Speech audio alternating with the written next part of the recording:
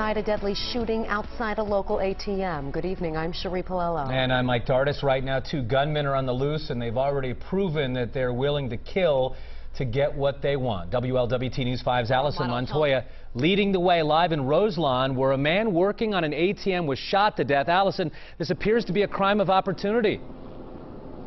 Yeah, that's right. A woman we talked to that doesn't want to show her face on camera tonight said she saw two guys in hoodies actually come up to this worker here at this ATM, told the guy to get on his knees and shot him. But police right now, they're not confirming that for us.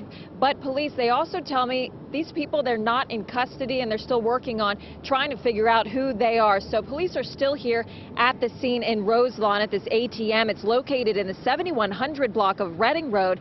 At this hour, police can only confirm for us one person is dead. I'm told the man was working on this ATM when he was shot at least once around 1 o'clock.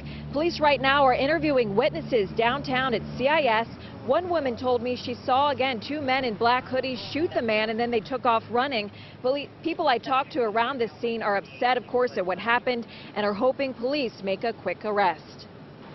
This guy woke up with, you know, an intention to come back home. I mean, I don't know his family or nothing like that, but he might, he actually seen somebody at work this morning.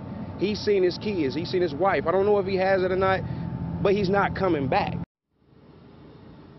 And of course, another live look at the scene here as police investigate this deadly shooting. And I'm told the victim's identity, it's not going to be released for some time tonight, but police say he was a father and husband. Reporting live from Roselawn, Allison Montoya, WLWT News 5.